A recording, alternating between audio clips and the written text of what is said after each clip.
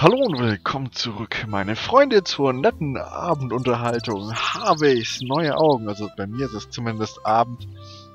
Keine Ahnung, wann ihr YouTube suchtet, aber es ist äh, 20.31 Uhr an diesem wunderschönen Donnerstagabend. Zeit für Lilly. Und mir, es hat jemand, äh, Gott, wenn ich das nicht mal vergessen würde, wer was Sachen in die Kommentare schreibt.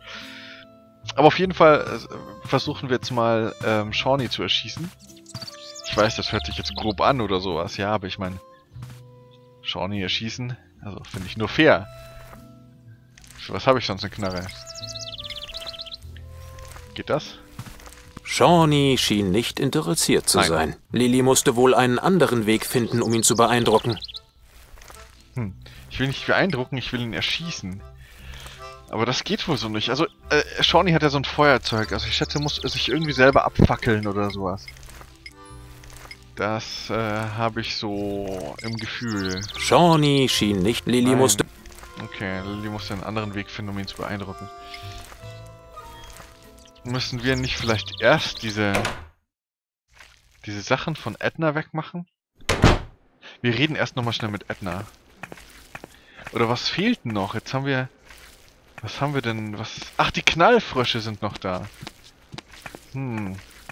Aber dafür brauchen wir wahrscheinlich Ednas Feuerzeug, oder? Ich, ich denke mal... Oh, Shai ist weg. Oh mein Gott, ist, hat sich Shai mit diesem Typen getroffen? Oder ist die Glitzerstopp auch drin? Boah, ich ho hoffe, der hat nichts Böses vor mit der oder sowas.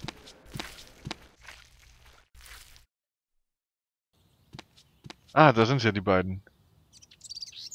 Sie ist rot, okay. Beide stehen da.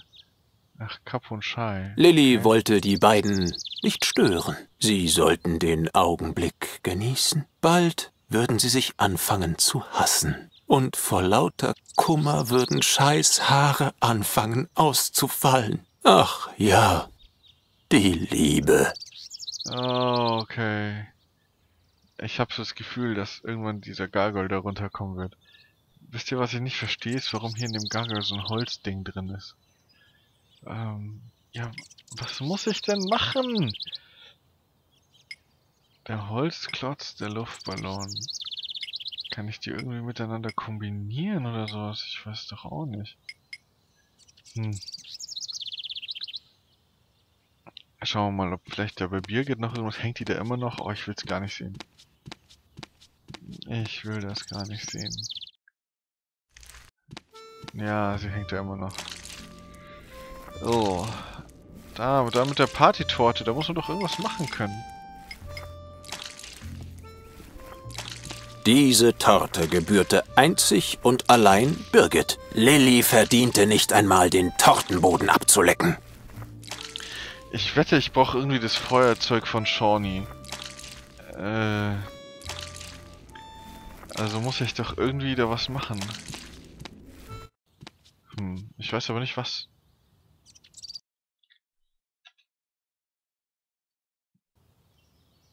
Mal schauen. Die können ich nicht mehr, mit denen kann ich nicht mehr reden.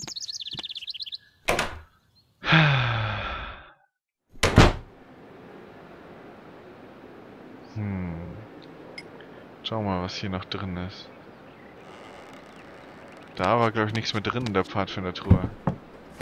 Oder? Nee. Ha. Tja, wo kann denn noch was sein? Hier gibt so viel Zeug noch. Kann ich da irgendwie drauf? Ich soll hier nicht rumballern, oder? Wie war das? So konnte Lilly die Knallfrische garantiert nicht von der Statue holen. Wieder einmal waren ihre Arme zu kurz und ihre Leitung zu lang. Tja, wieso komme ich denn da jetzt nicht drauf? So schwer kann es doch nicht sein, oder? Ah. Aha. Ah. Ach so. Die Zeiger der Schuluhr sahen aus wie Schwertlilien. Und die verschnörkelten Maschen, die die Körbe dieser Blumen bildeten, wirkten wie Schwertscheiden aus einem Fantasy-Roman. Sie luden geradewegs dazu ein, etwas hindurchzustecken. Ich soll da was hindurchstecken? Ein Schwert? Das Schwert reichte zwar weder zu den Knallfrischen noch bis zum Seil, dafür passte es aber perfekt in die Maschen des Zeigers. So Oh perfekt, nein. dass es darin stecken blieb. Was sollte Lilly nur tun? Etwa abwarten, bis der Gargoyle von alleine zu Boden fiel? So viel Zeit hatte sie gewiss nicht. Oh Gott, der ist hier mit dem Seil befestigt. Und das Schwert trifft das Seil und... Naja. Schei kommt bestimmt als Mus auch ganz gut, oder? Badam Tisch. Aber wie kann ich denn jetzt da dieses Schwert wieder rausholen oder rumschieben? Hm... Wie, wie mache ich denn das jetzt? Kann ich daran drehen? Kann ich das drehen oder sowas? Wie komme ich denn da hin jetzt? Kann ich, ich muss doch so irgendwie das Schwert hier wieder rausholen können. Es fehlte nicht viel, um den Gargoyle vollends aus dem Gleichgewicht zu bringen. Aber nicht einmal das trug Lilly bei sich. Okay. Also da fehlte nicht viel. Ja, was, was, was kann ich machen? Mit dem Holzklotz dagegen? Also mit dem Schwert kann ich jetzt hier nichts mehr machen. Es fehlte nicht viel, um den Gargoyle, aber nicht einmal das trug Lilly bei sich. Hm. Bin ich ja sicher, dass ich das nicht bei mir trug? Ja gut, was soll die Raufaserleinwand da, oder? Das ist doch Quatsch. Das ist doch Quatsch. Quatsch Es fehlte nicht viel, aber Ich muss noch mal auf die, ich schieß mal auf die Knallfrische. Ich weiß nicht, ob das geht. so konnte Lilly die Kn wieder Hm, tja, Zigaretten, nein. so konnte Lilly die wieder ein Okay, also irgendwie ist jetzt das Schwert da oben drin und das muss dann wohl das abtrennen. Und dann, äh, ja. Ich geh mal wieder runter. Also da kann ich hoch und dann kann ich da raus. Jetzt habe ich das Schwert hingemacht.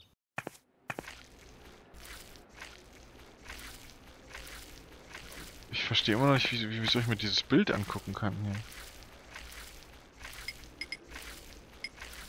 Warte mal, wo ging's denn da hin? In den Schlafsaal.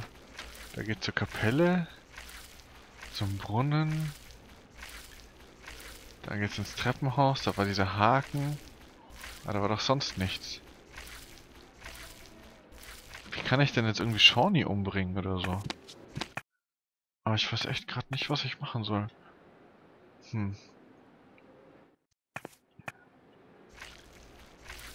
Mal schauen. Können wir nochmal mit Edna reden? Vielleicht weiß sie irgendwas.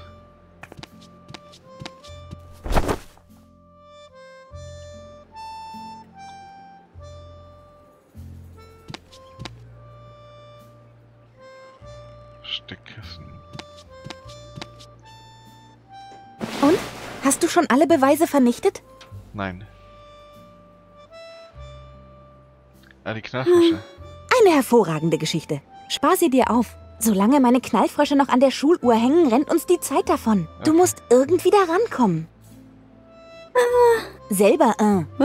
Ach, es tut mir leid. Ich bin einfach so nervös. Solange diese Widmung noch im Baum zu lesen ist, wird Dr. Marcel mich sicher finden. Wie bekommen wir die nur je wieder weg? Ich Jetzt, da du die. Termiten vertrieben hast, wird dem Holz schwer beizukommen sein. Ich hatte mal ein Messer aus der Kantine stibitzt und selbst das hat nicht mal einen Kratzer im Stamm hinterlassen. Ich frage mich, womit Doris morgens das Pumpernickel schneidet. Sie muss noch über anderes Werkzeug verfügen. Okay. Gut, wir gehen jetzt mal wieder raus. Ich glaube, das führt zu nichts. Äh, warum hier auch immer noch dieses Steckkissen ist, weiß ich allerdings auch nicht. Hm.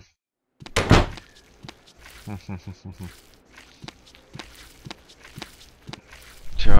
Die Oh! Turmuhr klang heute dumpfer als sonst. War es wirklich schon so spät?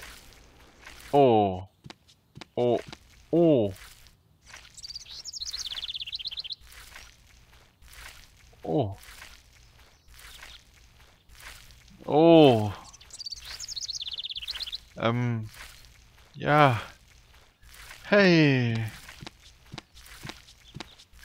Da Geschafft. ist wohl der Lilly Gargoyle hatte Ednas. Aufträge ausgeführt und alle Beweise verschwinden lassen. Sie konnte es kaum abwarten, ihrer besten Freundin davon zu berichten. Lilly, Gott sei Dank. Ich habe ein neues, viel größeres Problem. Ich kann mein Tagebuch nirgendwo finden. Und da steht doch alles über meine Fluchtpläne drin. Ich habe sogar eine Karte angefertigt, auf der ich mein Versteck markiert habe. Also vergiss die Sache mit den Beweisen.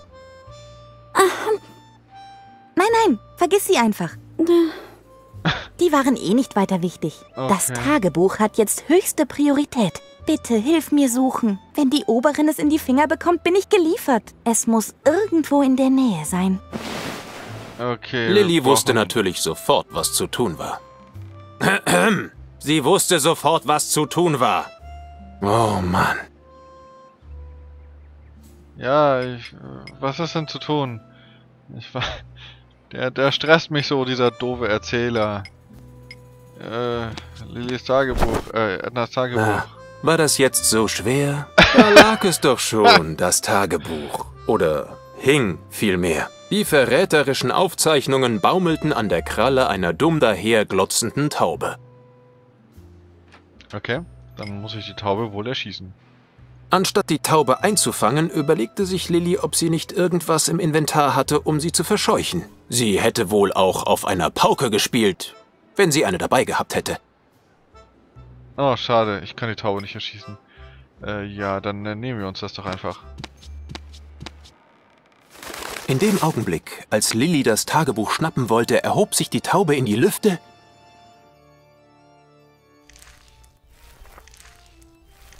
und flog mitsamt Tagebuch zum Klosterdach, wo sie im Gebälk über dem Büro der Oberin verschwand. Da half auch kein dümmliches Gucken. Ein weiteres Mal führte Lillys Weg nun in die Höhle des Löwen. Okay. Also, um, um Shai tut's mir jetzt ehrlich gesagt schon ein bisschen leid. Die war irgendwie süß. Und der andere Typ war auch eigentlich ganz nett. Ah. Immer diese vielen Morde. Morde, ich meine Unfälle. Sagte ich Morde? Nein. So, jetzt wollen wir mal schauen. Zur Büro der Oberin. Komme ich da noch irgendwie hin?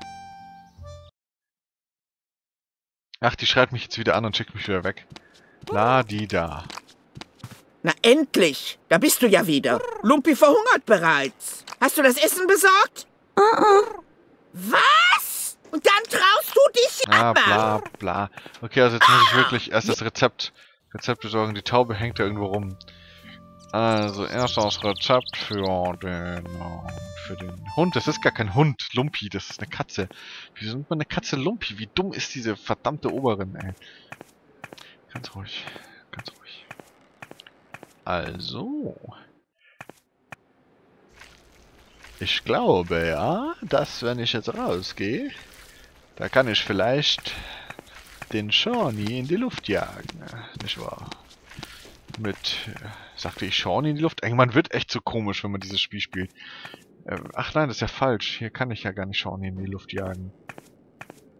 Vielleicht mit diesen explosiven Sprengkörpern, mit diesen asiatischen, äh, tschechischen, mit diesen tschechischen, asiatischen, äh, Sprengsätzen aus dem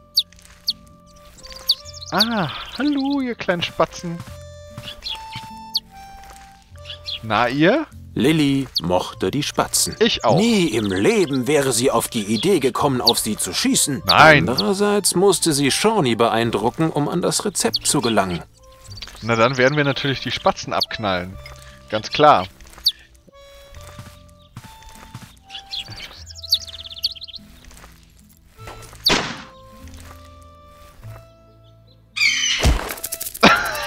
oh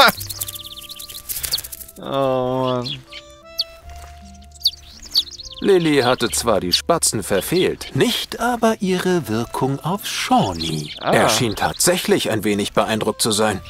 Ein wenig beeindruckt, ja. Er hat Angst. Äh, das ist auch sehr gut.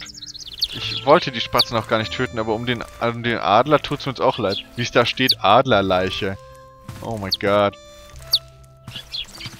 Shawnee wirkte äußerst nervös. In diesem Zustand wollte Lilly ihn lieber nicht ansprechen.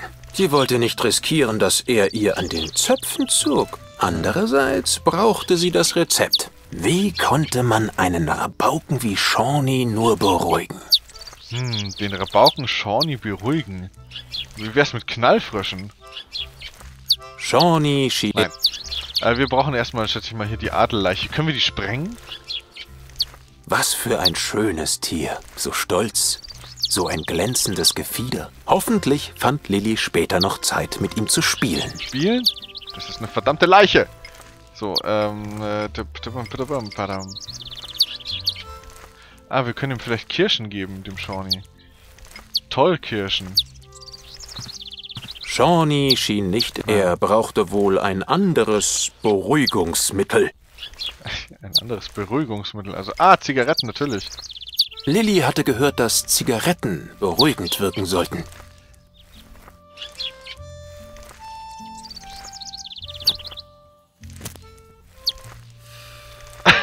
Hat sich alle angestrengt. Hawa, das hatte Lilly fein hinbekommen. Shawnee schien es schon viel besser zu gehen. Man erkannte es genau an der Art, wie sich seine Pupillen langsam nach innen drehten. Ja. Und gleich kippt er um. Und dann ist er tot. Shawnee hatte eine Zigarette fallen lassen. Scheinbar hatte er den Mund zu voll genommen. Ja, komm, zünde die Dinger an den Zigaretten an. Komm, komm, komm, komm, komm. Los, los, los. Shawnee hatte ein Ach, verdammt, scheinbar hat geht das nicht? Gut, dann nehmen wir halt die, die Kippe mit. Dann nehmen wir die Kippe mit. Shawnee hat scheinbar So. Jetzt könnten wir doch eigentlich die Dinge anzünden hier. Lilly erinnerte sich noch gut an die Klosterschulordnung. Man durfte Knallfrösche nur dann benutzen, wenn es einen triftigen Grund dafür gab. Irgendwie so. Lilly mochte statische Elektrizität. Es erinnerte sie an das Gefühl, das sie hatte, wenn sie an ihre Eltern dachte. Okay. Gut. Äh, achso, wir haben jetzt das Rezept. Jetzt. Shawnee fällt bestimmt gleich tot um, oder? Wir können es nur hoffen. Dieser Idiot. Äh, wir gehen mal zurück. Liegt er da noch tot oder raucht er? Ah, na, da ist er ja. Ganz in Pink. Der gute Shawnee. Und qualmt immer noch. Ach, das ist aber schön.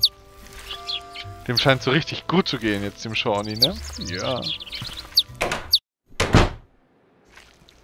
So langsam leert sich ja das Kloster, oder? Also kann man wirklich nicht sagen. ist eine sehr angenehme Atmosphäre mittlerweile hier. Du schon wieder?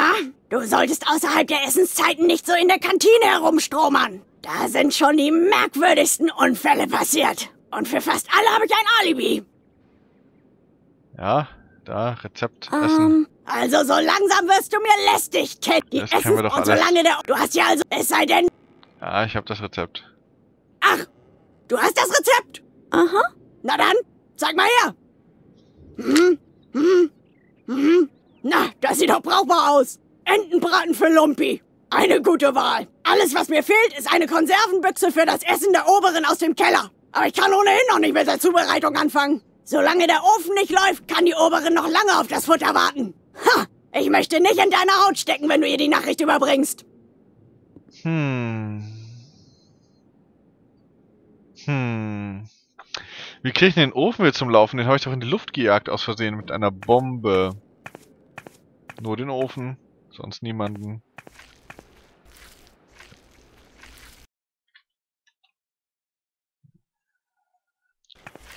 Hm, tja, Leute, Freunde der Sonne. Ähm, äh, wir gucken noch mal eben in den Ofen.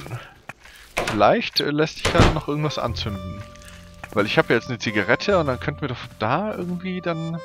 Oder so, oder kann ich hier nochmal Wasser reinlaufen lassen oder sowas? Ah, ich weiß doch auch nicht.